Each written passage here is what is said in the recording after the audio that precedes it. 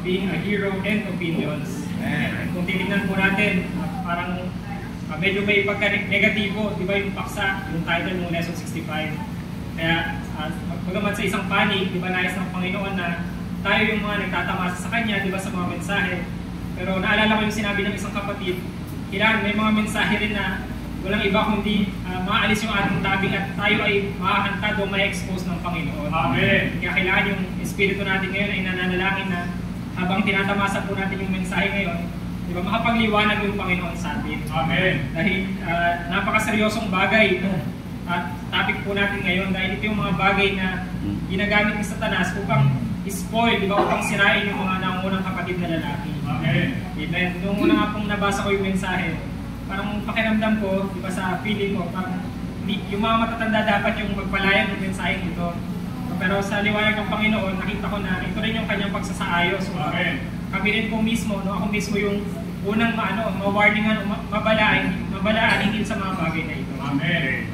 Amen. Sabi yung suliranin daw ng kapalaluan, iba yung pag-iisip na maging isang bayani, tsaka yung mga opinion, ito ay umiiral sa kalagitnaan natin ngayon. Amen. Bagamat, di ba sinabi po sa MR, kailangan makita natin na yung eklesiya ay maluwalhati. Di ba kailangan magsalita, magsalita tayo ng, mga, ng blessing, di ba, ng pagpapala sa eklesiya.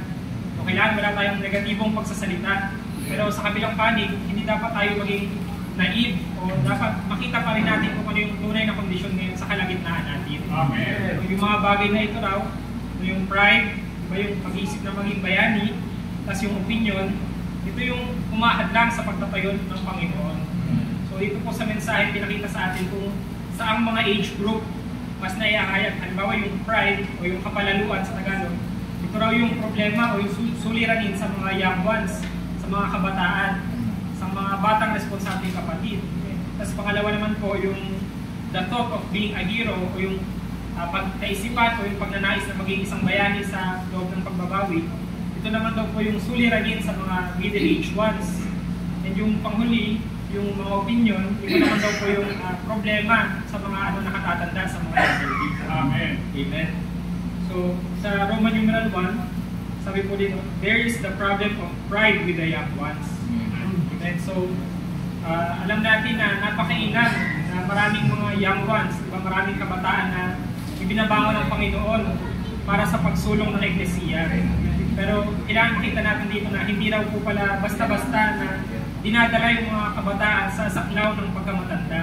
O yung pagtatalaga ng isang young one, di ba, sa eldership o sa pagkamatanda, kailangan pong isaalang, ano, maingat na isaalang-alang. Amen.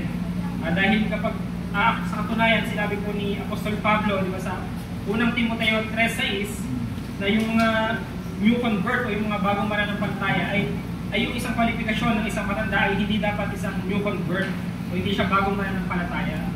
Dahil bagamat yung isang kapatid na ito, ba siya ay mananampalataya, siya, siya ay naisilang mabuli, pero wala pa siyang ano, paglago at paggulang sa buhay. O yamang siya ay bago pa lamang.